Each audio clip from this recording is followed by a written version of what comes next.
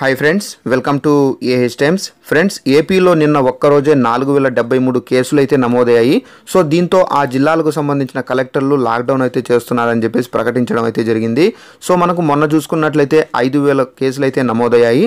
So మొత్తానికి మనకు రెండు రోజుల్లోనే తొమ్మిది వేల కేసులు అయితే నమోదు కావడంతో సో ఏపీ ప్రభుత్వం కొంచెం అలర్ట్ అయితే అయింది సో ఎక్కడైతే చాలా కేసెస్ అంటే ఎక్కువ కేసెస్ నమోదవుతున్నాయో అలాంటి ప్లేసెస్లో ఏంటంటే లాక్డౌన్ చేసే అవకాశాన్ని ఆ జిల్లా కలెక్టర్లకు అయితే ఇచ్చింది. సో ఇప్పుడు ముఖ్యంగా ఏ జిల్లాలకు లాక్డౌన్ ఉందో చూద్దాం ఫ్రెండ్స్. సో ఈ వీడియోని మీరు స్కిప్ చేయకుండా ఎండ్ వరకు చూడండి అప్పుడే మీకు క్లియర్గా అర్థమవుతుంది. అలాగే ఒక చిన్న రిక్వెస్ట్ ఫ్రెండ్స్ ఈ వీడియో కనుక నచ్చినట్లయితే తప్పకుండా ఒక లైక్ చేయండి. మీరు చేసే లైక్ నాకు ఎంకరేజ్మెంట్ అండ్ సపోర్టివిటీగా అయితే ఉంటుంది. అలాగే ఇంతవరకు ఎవరైనా మన ఛానల్ని సబ్స్క్రైబ్ చేసుకోకపోతే వెంటనే రెడ్ కలర్లో ఉండే సబ్స్క్రైబ్ బటన్ను క్లిక్ చేసి పక్కనే ఉన్న బెల్ ఐకాన్ యాక్టివేట్ చేసుకోండి. గవర్నమెంట్కి సంబంధించిన ప్రతి చిన్న అప్డేట్ మన ఛానల్ ద్వారా మీరు తెలుసుకోవచ్చు. అలాగే ఇన్ఫర్మేషన్ గురించి చాలా మందికి అయితే తెలియదండి. సో ఇన్ఫర్మేషన్ మీకు తెలిసిన వాళ్ళందరికీ షేర్ చేయండి. Let's let start our video friends. So first update మనం చిత్తూరు జిల్లాకు సంబంధించి అయితే చూద్దామండి. సో మనకు చిత్తూరు జిల్లాకు చెందిన కలెక్టర్ ఏంటంటే నేను మనకు ప్రెస్ మీట్ అయితే పెట్టడం అయితే జరిగింది. సో ప్రెస్ మీట్లో ఏంటంటే సో తిరుపతిలో ఏంటంటే ఆగస్టు ఐదో తారీఖు వరకు అయితే లాక్డౌన్ అనేది పెడుతున్నామని చెప్పడం అయితే జరిగింది. సో అలాగే మనకు ఆరు గంటల ఉదయం ఆరు గంటల నుండి పదకొండు గంటల వరకు అయితే షాప్స్ అనేది ఓపెన్ చేసుకోవచ్చు అని చెప్పడం అయితే జరిగింది. సో తిరుపతిలో నలభై ఎనిమిది క్వారంటైన్స్ అయితే ఉన్నాయని చెప్పేసి చెప్పడం అయితే జరిగింది. సో తిరుపతిలో కేసెస్ అనేది ఇంక్రీజ్ కావడం వల్లనే ఈ లాక్డౌన్ అనేది పెడుతున్నామనేసి చెప్పడం అయితే జరిగింది. సో అలాగే మనకు తిరుమలకు సంబంధించి ఒక అప్డేట్ అయితే రావడం అయితే జరిగిందండి. సో తిరుమలలో మనం చూసుకున్నట్లయితే కనుక నిన్న మనకు మాజీ అర్చకులు శ్రీనివాసమూర్తి గారు అయితే చనిపోవడం అయితే జరిగింది.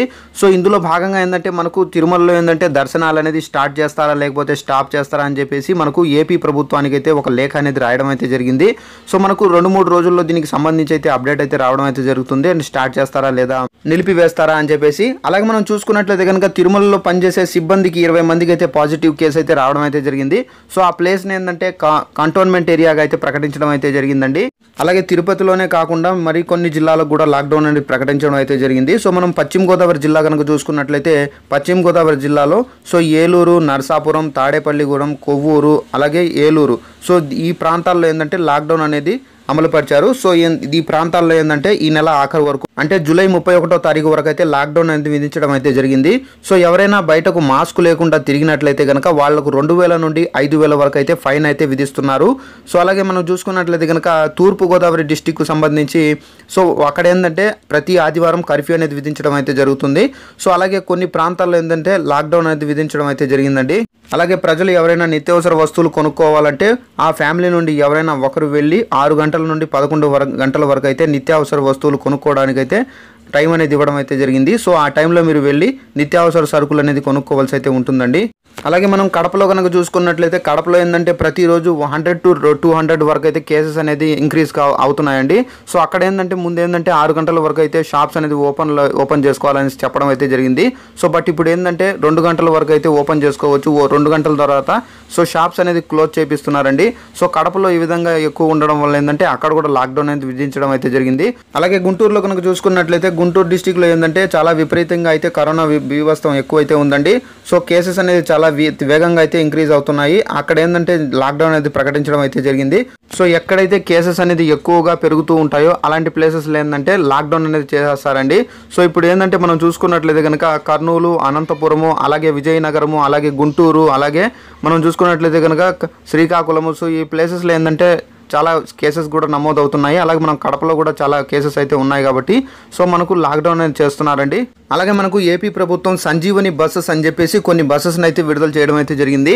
సో ఈ బస్సెస్ ద్వారా ఏంటంటే ఎక్కడైతే ఎక్కువగా కేసెస్ అనేది ఇంక్రీస్ అవుతాయో అలాంటి ప్లేసెస్లో ఏంటంటే సో ర్యాపిడ్ టెస్ట్లు అయితే చేస్తారండి. సో ఒకవేళ మీకు అనుమానం కనుక ఉన్నట్లయితే మీరు వెంటనే వెళ్ళి ఆ టెస్ట్లు అనేది చేయించుకోండి. సో అలాగే రైల్వే స్టేషన్స్లో బస్ స్టేషన్స్లో ఎక్కడైనా ఈ టెస్ట్లు అనేది చేస్తారండి. సో ఎక్కడైతే కేసెస్ అనేది ఎక్కువ ఉంటాయో అలాంటి ప్లేసెస్లోనే ఈ బస్సెస్ ద్వారా ఏంటంటే ఈ ర్యాపిడ్ టెస్ట్లు అయితే చేయడం అయితే జరుగుతుందండి. సో ఎవరైనా మీకు అనుమానం కనుక ఉన్నట్లయితే తుమ్ములు వచ్చినా కానీ ఒకవేళ ఫీవర్ వచ్చినా కానీ ఒకవేళ ఒళ్ళు నొప్పులు వచ్చినా కానీ సో ఈ విధమైన లక్షణాలు కనిపిస్తే కనుక మీరు వెంటనే వెళ్ళి ఆ టెస్ట్లు అనేది చేయించుకోండి అలాగే ఏపీ సీఎం జగన్మోహన్ రెడ్డి గారు ఈ కరోనాకు సంబంధించిన కిట్స్ అనేది షార్టేజ్ అవ్వకూడదని చెప్పేసి అధికారులను అయితే సూచించడం అయితే జరిగింది.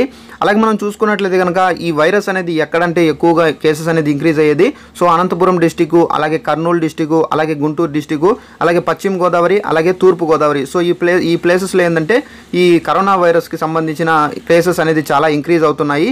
సో దీని ఈ జిల్లాల మీదే ప్రభుత్వం ఏంటంటే చాలా దృష్టి అయితే పెట్టింది. సో ఈ జిల్లాలకు సంబంధించిన కలెక్టర్లు అయితే సూచించడం అయితే జరిగింది. సో ఈ ఇక్కడ కేసెస్ అనేది ఇంక్రీజ్ కావడం వల్ల ఏంటంటే మనకు జూలై ముప్పై ఒకటో తారీఖు వరకు అయితే ఈ ప్లేసెస్లో ఏంటంటే లాక్డౌన్ అనేది విధించడం అయితే జరిగింది. సో ఎక్కడైతే లాక్డౌన్ అనేది విధించుంటారో కంటోన్మెంట్ ఏరియాస్లో ఏంటంటే వాలంటీర్ల సహకారంతో ఏంటంటే వాళ్ళకు రేషన్ అనేది డోర్ డెలివరీ అయితే చేయనున్నారండి. సో ఫ్రెండ్స్ నేను ఈ యొక్క అప్డేట్ గురించి చెప్పడానికి ఒక వీడియో నేను చేస్తున్నాను. ఫ్రెండ్స్ ఈ వీడియో కనుక నచ్చినట్లయితే తప్పకుండా లైక్ చేయండి. అలాగే మన ఛానల్ని సబ్స్క్రైబ్ చేసుకోకపోతే వెంటనే సబ్స్క్రైబ్ చేసుకొని follow అవుతుండండి. Thanks for watching this video all the best